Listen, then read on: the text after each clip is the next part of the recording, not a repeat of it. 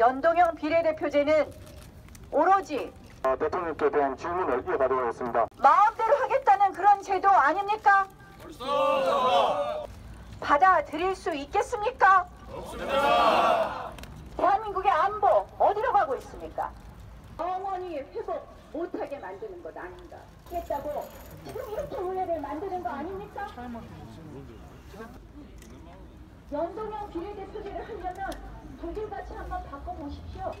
이것을 결사적으로 막겠습니다.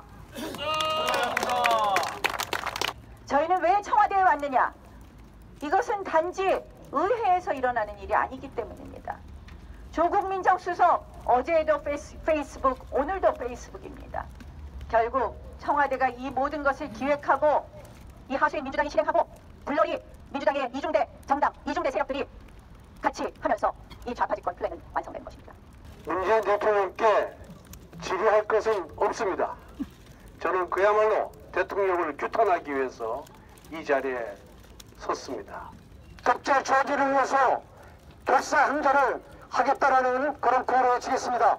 제가 아, 먼저 선처하는 결사 항전만 세 번 외쳐주시기 바랍니다. 문재인 정권 독재 저지를 위해서 결사 항전! 지금 교사 의원님들의 발언이 이어지고 있습니다만 오늘의 동료들이 나와 소리하는 별안 들린 것 같습니다. 오른손을 두고 같이 국회의원 권상동 권상동 의원 KT에서 불법 작업 나왔잖아요.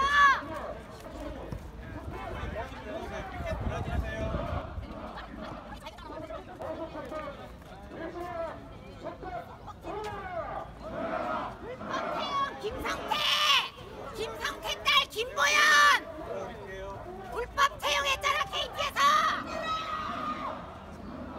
껌박질 그만하라고! 국민 다 죽어가는데! 그나는 껌박질을 하고! 뭐 하는 거야 도대체! 어? 왜 못하게 하는 거야? KT에서 불법 자금 처먹었잖아! 자유한국당 얼마나 대단한 지랄이야!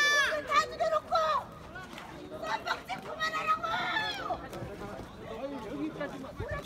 KT에 불법 채용시켰잖아!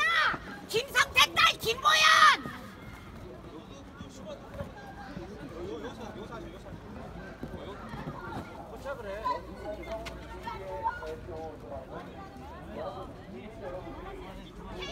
뭐하고 뭐하고 사는 거야? 세금 내서 국회의원이 뭐가 대단해?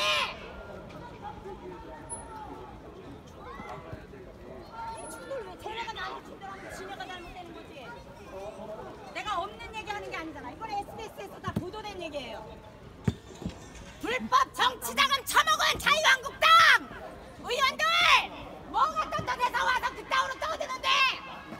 어? 너네나 잘해! 너네나 잘해! 불법 채용! 김성태! 뭐가 떳떳해서 와 있는데? 공수처가 있습니다. 공수처에 대해서.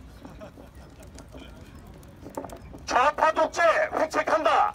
온 국민이 막아서자. 막아서자. 막아서자. 막아서자. 국회 의석 늘어난다.